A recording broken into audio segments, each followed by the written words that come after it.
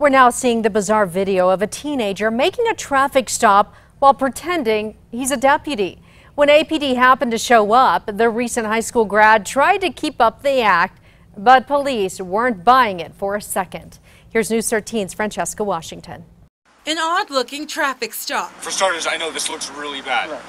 This looks really bad. Uh, This screams whacker. With surprise after surprise. You want to talk to her for a minute?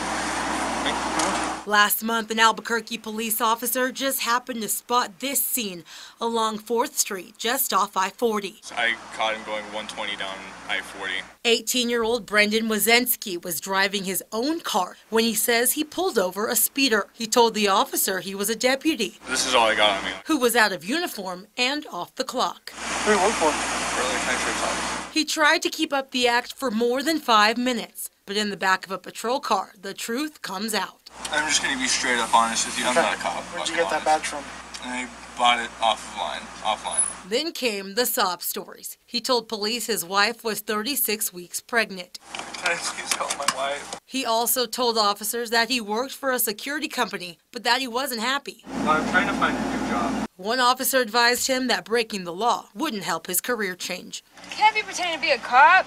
Yeah, I know. I'm stupid. Francesca Washington, KRQE News 13. Before Wazinski admitted he bought the badge online, he tried to tell police it belonged to his father, a Bernalillo County deputy killed in the line of duty. Police quickly figured out it was all a lie.